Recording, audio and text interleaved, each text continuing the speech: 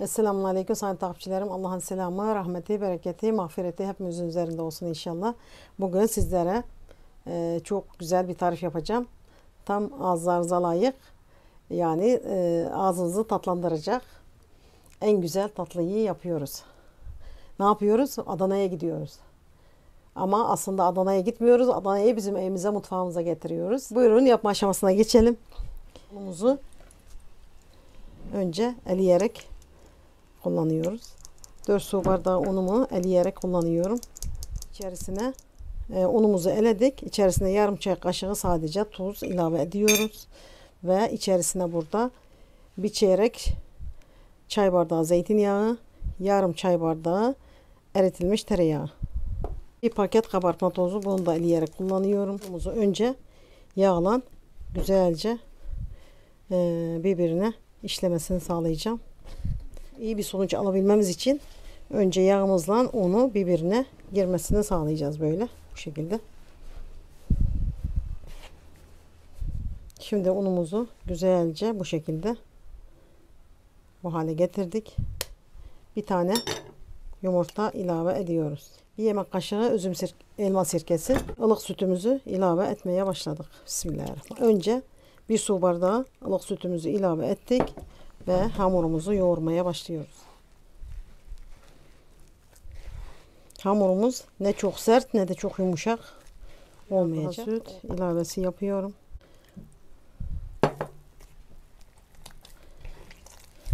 Şu an bir su bardağı süt bir de çeyrek ilave etmiş oldum ve yoğurmaya devam ediyorum. Şimdi hamurumuzu şöyle masama alıyorum. Şimdi hamurumu masada yoğurmaya devam ediyorum. Ta ki pürüzsüz bir hamur olana kadar. Şöyle 2 dakika kadar 3 dakika kadar yoğuracağım.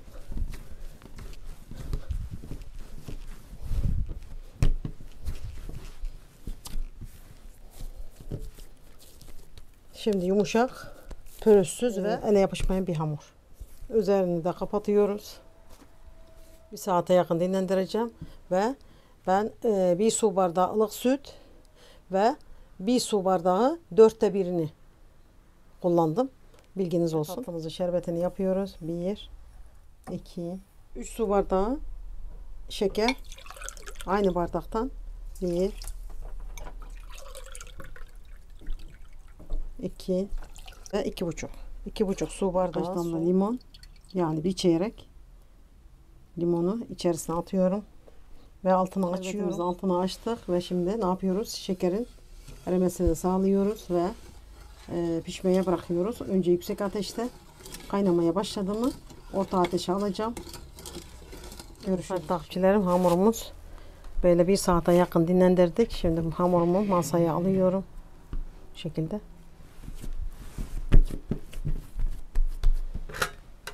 Hamurumu ikiye bölüyorum. Yapıyoruz? İkiye tekrar bölüyoruz. İkiye bölüyoruz. Şimdi sayın takipçiler hamurumu 12'ye böldüm.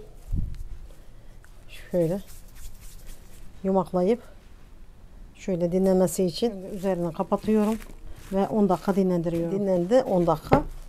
Şimdi açmaya başlıyoruz. Bismillahirrahmanirrahim. Burada nişastam var. Nişastayla açıyorum. Şöyle masama nişasta serpiyoruz ve açmaya başlıyorum. Hamurumu açmaya başlıyorum. Rabbiyesi ve la tuasse Rabbi temel vel hayır.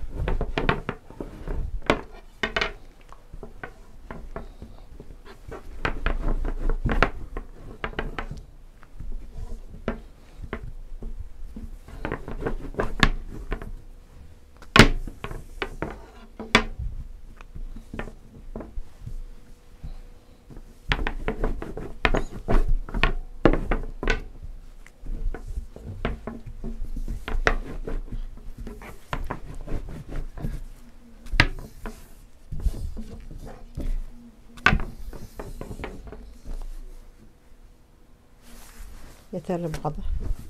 Bu şekilde ve bu şekilde yapıyoruz. öğütülmüş cevizim var bu şekilde. Ne çok ince ne de iri. Normal. Bu şekilde. Evet.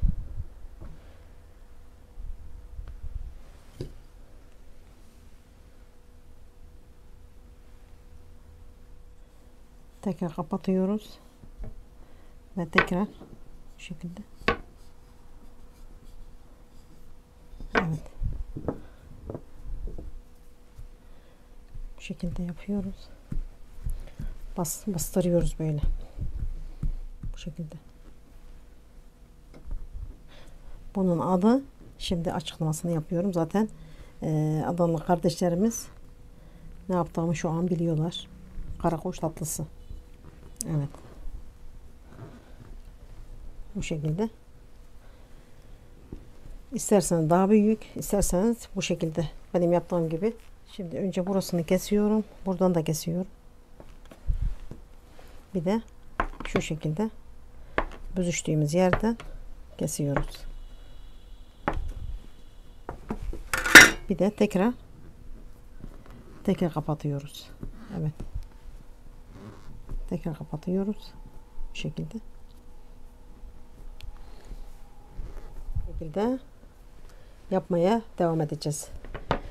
Şimdi tekrar bezemizi açıyoruz.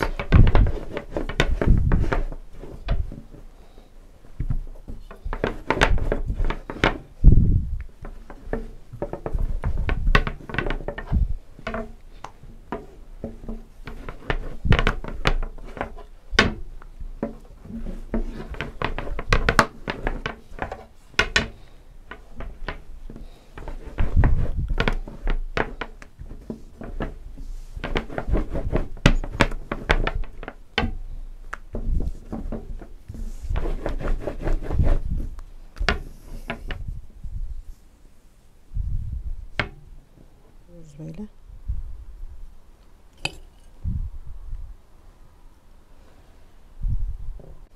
Tekrar üzerine aynı şekilde kapatıyoruz. Tekrar geri aynı şekilde geri dönüyoruz ve şekilde şöyle büzüştürüyoruz. Kenarını kesiyorum fazlalıkları.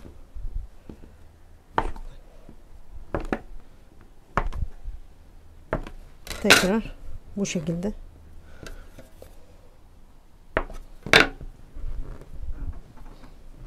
büzüştürüyoruz böyle. Kapatıyoruz yani. Buna niye karakuş tatlısı demişler? Çünkü kuşa benziyor. Değil mi? Bismillahirrahmanirrahim. Şimdi yağımızı ocağa koyduk. Isındı yağımız. Şimdi içerisine atıyoruz.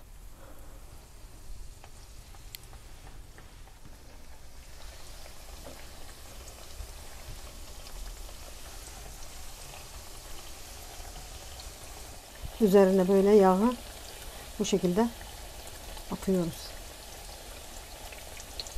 Kabarması için.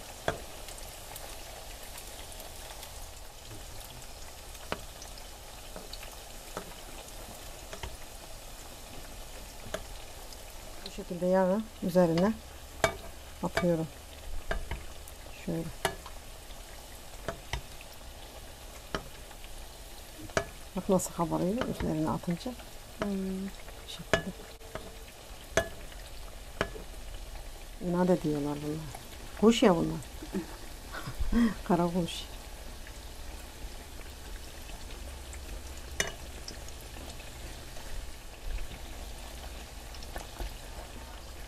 Sayın takipçilerim kızarttığınız har mutlaka derin olması gerekiyor. Şimdi alıyoruz. Nar gibi kızarana kadar pişiriyoruz. Böyle.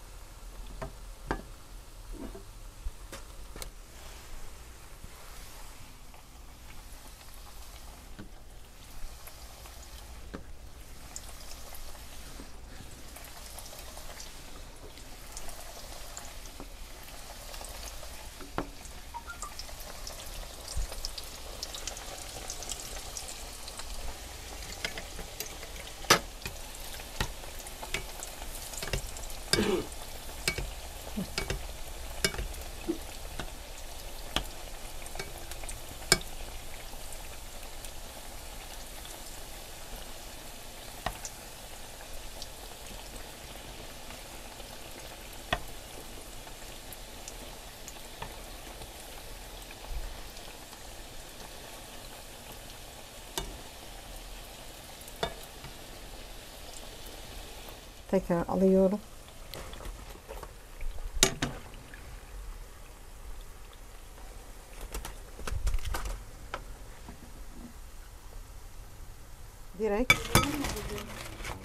Şerbetin içine atıyoruz böyle.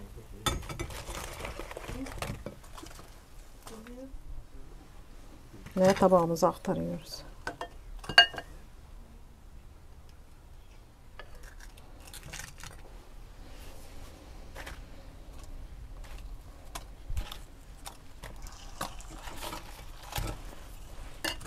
Fazla bekletmiyoruz şerbetin içinde.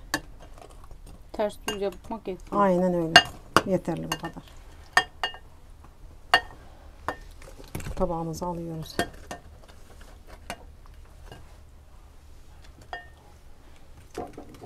Şimdi sayın takipçilerim tatlılarımız e, bitti. E, şerbetini de koyduk gördüğünüz gibi. Şimdi ne yapıyoruz? Bu şekilde e, antep fıstığıyla böyle süslüyorum. Bunlar daha güzel sanki ben onun için.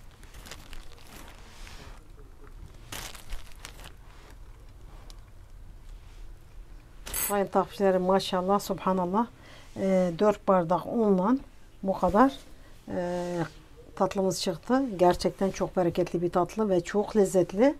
İnanılmaz lezzetlidir. Mutlaka bu tarifi yapmanızı tavsiye ediyorum. Gerçekten şimdi sizlere test edeceğim. Buyurun. Hangisini alayım?